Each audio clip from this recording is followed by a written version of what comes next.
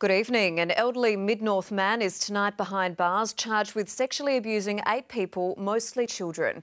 In a case that shocked detectives, it's alleged the abuse happened over 50 years. Ben Avery is live at the Port Pirie Magistrates Court and joins us now where the man appeared late this afternoon. Ben?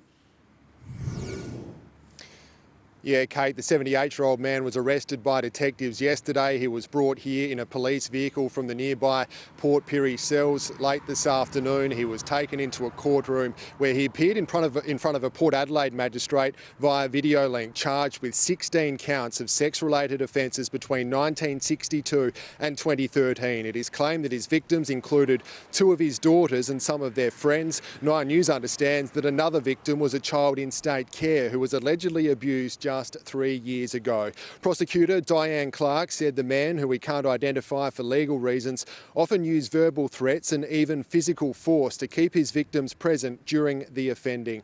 She opposed bail, claiming some of his alleged abuse occurred in public places and that the man poses an ongoing threat to the public. Now, the man has denied the charges and he's requested that he be released on home detention bail, whether that's inside his own home or that of his son, who is continuing to provide him with support. That request will be considered here at the Port Pirie Magistrates Court on Monday. Kate? Thank you, Ben.